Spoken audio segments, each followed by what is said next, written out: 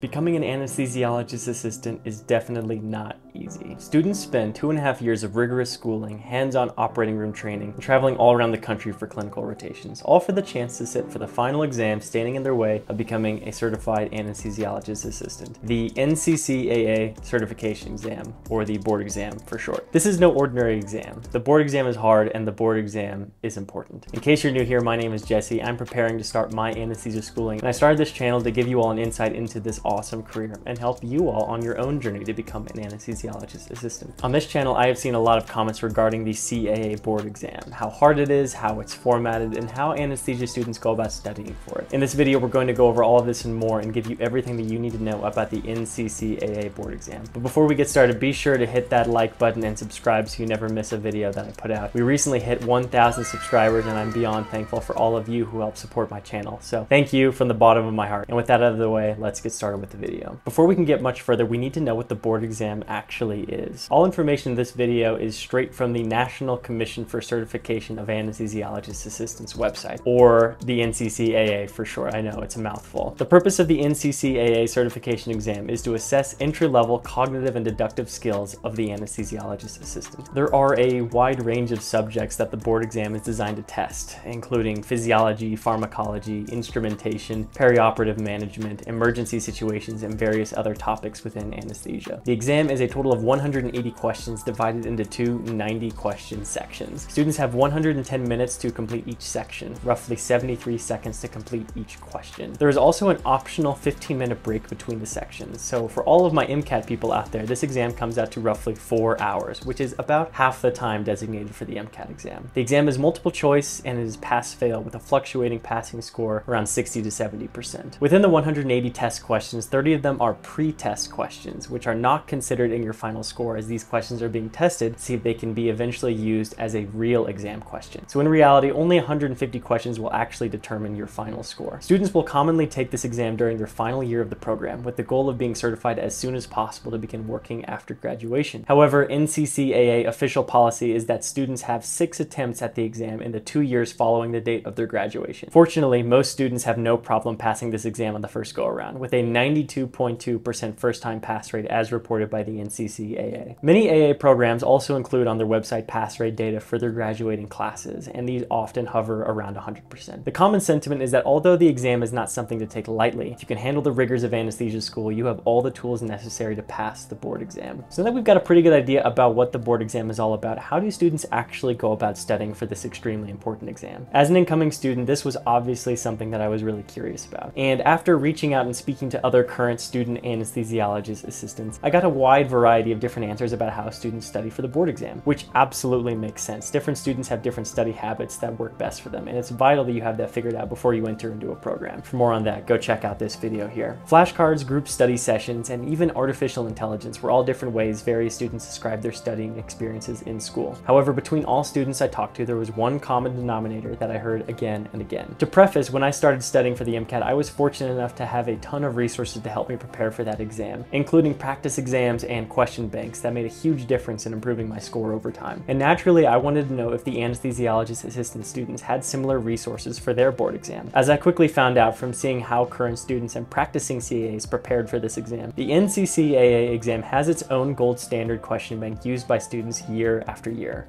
TrueLearn. Again, for my MCAT folks, UWorld is to the MCAT what TrueLearn is to the AA board exam. However, TrueLearn is not just a question bank, it is a smart bank. That means that this program is not simply a list of questions and answers. TrueLearn includes tons of awesome features to help you rapidly improve and learn in preparation for the board exam. Some of these features include detailed, high quality explanations for every question, including explaining why every wrong answer is incorrect. With TrueLearn, you also have the ability to create custom quizzes that test you on topics you might be weaker in. Leading up to your exam, you can see detailed metrics on your strengths and weaknesses your performance dashboard, which keeps tracks of your performance in relation to other AA student peers across the nation. I use other programs with these kind of metrics such as Duolingo, Hallo, or Bookly, and these really help me see my progress and encourage me to keep going. TrueLearn has no shortage of these valuable analytics that keep you motivated as you study for the board exam. All right, everybody, so right now I am on the TrueLearn website. I am on my dashboard for my profile, and I wanna go over some of the amazing features that TrueLearn offers as you guys are preparing for your NCCAA certification exam to become a certified certified anesthesiologist assistant. So right now I'm on my dashboard. Right now what I can see is a lot of the big picture information. You know, I've only taken one short quiz. It was only 10 questions long, but it gave me some data that I can show you guys that we can work with here. I've taken 10 total questions. I got a 7 out of 10 on that one, so I'm, I've got my 70% total here, and that will slowly adapt and change over time as you answer more questions and take more quizzes and practice exams. And we also have the percentile here. So this is going to show you how well you are doing compared to your peers and if you are on track to do well for the actual certification exam. Also, you can create your own tests. Say you could even like create simulation exams. Let's say that you wanted to simulate one section of the board exam. You could do a 90 question section there and you can practice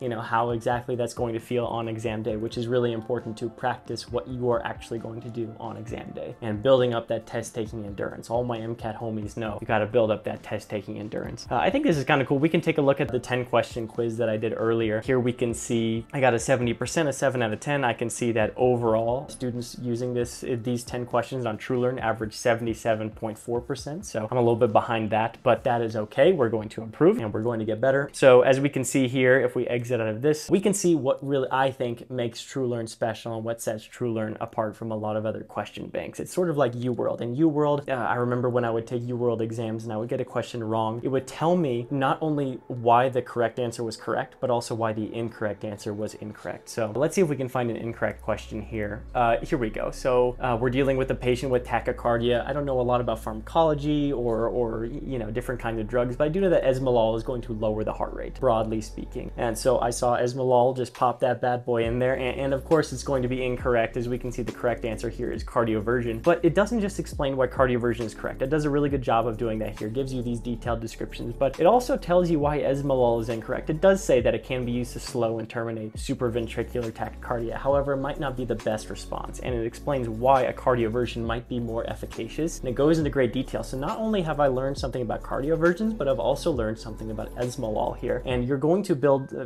basically in that, that way, you're going to build twice as much knowledge, not only learning about correct answers, but also learning about information in the incorrect answers that most of the time you might just gloss over, and you might not pay as much attention to. I think that goes a long way as you're preparing for something that is as information dense as an anesthesia board exam might be. Man, we've got a couple questions here that I think are really, are really good. This is one about um, the aging process and cardiovascular changes. One thing that I remember from the MCAT exam is that as you get older, you're going to have decreased compliance in your arteries and in your vascular system. That's going to be a result of the aging process. So this is something that I recognized and got correct, but I'm a very visual learner. And one thing that I like about TrueLearn is that they make an effort to put these graphs and these visual cues in here so that I can internalize the information a little bit better, especially if I am a visual learner. So there's that one. We'll probably go over a couple more here. Um, this is one that I remember seeing stuff like this on my MCAT exam. We're going over oxygen delivery and hemoglobin and, you know, CO2 release. And again, we've got a nice little graph that shows us partial pressure. This is something that I remember learning about in, uh, you know, working as an anesthesia tech is the different types of anesthesia. You've got general anesthesia, you've got monitored anesthesia care or MAC cases. You've got different levels of, of analgesia. You've got deep sedation, moderate sedation. There's a little bit of everything here. Like I said before, you've got just about everything on this exam. These questions are going to cover instrumentation, perioperative management, emergencies. It's going to give you real life scenarios that you might encounter when you are a practicing anesthesiologist assistant. You guys can kind of see a couple questions here, get an idea for why TrueLearn really is awesome in my opinion is that it gives you detailed breakdown that shows you how many people answered different questions. Let me see if I can find one that I got wrong here. 76% of people got this question right, but uh, but I chose one where still 10% of people were choosing this answer and I can kind of see which questions might have more of tricky language. If, if there's a really high amount of people choosing a wrong answer, you can find these language and these cues that you can look out for uh, when you're taking the actual exam. There you go with TrueLearn. Amazing, amazing resource. We can also go to performance here. This doesn't have enough data data because I haven't done enough questions to give me a lot of data up here at the top. But if we scroll down to the bottom, we can see here how I'm doing in uh, clinical management questions, in you, you know phys physiology and knowledge questions, and you can see my correct versus incorrect here. And also we've got a percentile here, so I can see that right now I'm in the 70th percentile roughly. We can even zoom in on that and we can get even into the nitty gritty of how well I'm doing compared to my peers. So these are the kind of analytics that really help encourage me to see where I'm at compared to the people around me and give me that encouragement to know that I can do well and that all of us are going to be able to do well on the certification exam. I think that's one of the really amazing things that comes with TrueLearn and why I'm excited to partner with them and, uh, and help you guys study for your AA board exam. TrueLearn has incredible resources for anesthesiologist assistant students getting ready for their board exam. However, TrueLearn doesn't just stop there. They have tons of different resources and smart things for many different medical exams. If you're a medical student studying for USMLE Step 1, TrueLearn has you covered. If you're a DO medical student preparing for the COMLEX,